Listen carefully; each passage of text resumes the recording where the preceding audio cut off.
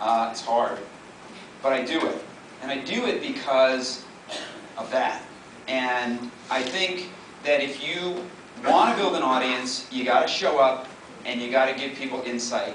And, and so in your world, you're, you're learning things that not a lot of people know. You can share it, you can build an audience, and, and then you can tap into that audience. And if you're a company, it's even better because uh, you, can, you can do the blog together. So not everybody has to write every day, and you have a broader audience because your customers and your, and your business partners, your employees read it.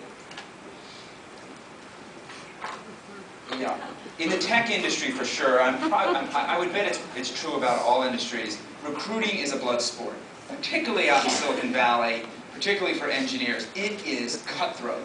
People will do anything to get that great engineer or that great product manager or that great salesperson.